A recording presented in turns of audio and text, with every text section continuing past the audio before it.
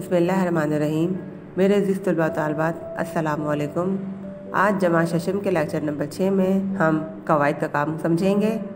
कवायद हमारा रदीफ़ काफ़िया और मुहावरात। आप अपनी कॉपी में इसी तरह टाइटल बनाएँगे रदीफ़ काफ़िया का और उसका काम करेंगे अगले सफ़े से। रदीफ़ काफ़िया काम ख़त्म होने के बाद मुहावरात का टाइटल बनाकर मुहावरात का काम करेंगे। रदीफ़ काफ़िया मतला मक्ता। ये तमाम शेरी असलाहत में इस्तेमाल होते हैं। आज हम पढ़ेंगे रदीफ़ और काफ़िया। रदीफ़ की हरी डालकर आप लिखेंगे। वो मुस्तकिल कलमा या कलमात जो अशार के आखिर में बार बार दोहराए जाएँ, रदीफ़ कहलाते हैं। रदीफ़ की दो शरात हैं। ये मुस्तकिल होंगे, तब्दील नहीं होंगे। अशार के आखिर में इसी तरह दोहराए जाएँगे। यानी एक ही लफ्ज़ जो शेर के आखिर में बार बार दोहराया जाए, वो रदीफ़ कहलाता है। मिसाल दी गई यहाँ पर एक शेर लिखा हुआ है फ़कीराना आए, सदा कर चले। मियाँ खुश रहो, दुआ कर चले। इस शेर में, कर चले कर चले रदीफ़ हैं, क्योंकि ये बार बार आया है और उसी तरह आया है, इसमें अल्फाज की तब्दीली नहीं हुई है। तो ये रदीफ़ कहलाते हैं। फिर है काफ़िया। काफ़िया के हेडिंग डाल के उसकी डेफिनेशन लिखेंगे। वो हम वज़न और हम आवाज़ अल्फाज, जो अशार के आखिर आखिर में, लेकिन रदीफ़ से पहले इस्तेमाल हो, काफ़िया कहलाते हैं। काफ़िया की तो शरात है। ये हम वज़न और हम आवाज़ होंगे अशार के आखिर में, लेकिन रदीफ़ से पहले इस्तेमाल होंगे। यानी ये आवाज़ इनकी एक जैसी होती है, लेकिन ये रदीफ़ से पहले इस्तेमाल होते हैं। मियाँ मिसाल दी गई है, फ़कीराना आए, सदा कर चले, मियाँ खुश रहो दुआ कर चले। इस शेर में सदा और दुआ, वो काफिया है, क्योंकि कर चले और कर चले जो बार बार दोहराया जा रहा है, वो रदीफ़ है, और रदीफ़ से पहले जो इस्तेमाल हुआ है लफ्ज़, वो काफिया है, सदा और दुआ।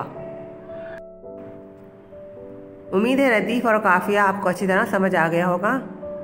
अब आपको एक मश करनी है, कोई भी पाँच अशार लिखने हैं, जिसमें रदीफ़ और काफिया का इस्तेमाल हुआ हो। रदीफ़ और काफ़िया की डेफिनेशन पूरी तारीफ़ लिखने के बाद अगले सफ़े पर आप पाँच अशार लिखेंगे, जिसमें रदीफ़ का इस्तेमाल किया गया हो और काफ़िया का इस्तेमाल किया हुआ और आप उसको अंडरलाइन करेंगे।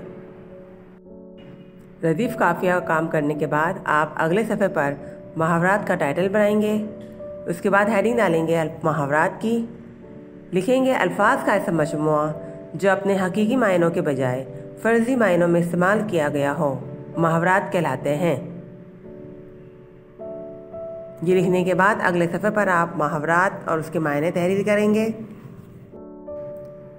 यहाँ पर मुहावरे लिखकर दिए गए हैं, जिनके मायने और जुमले भी बनाए हुए हैं। आप चाहें तो जुमले अपनी मर्ज़ी से लिख सकते हैं, नहीं तो ये जुमले भी आप अपनी कॉपी में तहरीर करेंगे। मुहावरा है, जलती पर तेल छिड़कना, इसके मायने हैं जगड़ा बढ़ाना। दूसरा मुहावरा है, आगे दौड़, पीछे छोड़। इसके मायने हैं एक काम अधूरा छोड़कर दूसरा शुरू करना। नंबर तीन, आपे से बाहर होना, यानी बहुत ज़्यादा गुस्सा आना। नंबर चार, आँख का तारा होना, यानी बहुत प्यारा होना। नंबर पाँच, आरज़ू खाक में मिल जाना, यानी नाकाम हो जाना।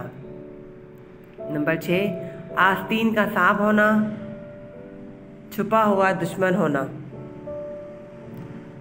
अगला है आठ आठ आँसू रोना, यानी ज़ारों कतार रोना। इसके बाद बाग बाग होना, इसके मायने हैं नहायत खुश होना। हक्का बक्का रह जाना, यानी हैरान रह जाना।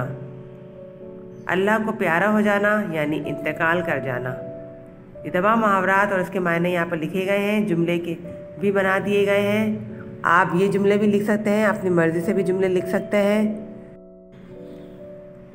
मुहावरात के जुमले बनाने के बाद आप नर्दबान का सफ़ा नंबर सतहत्तर नर्दबान में ही मुकम्मल करेंगे।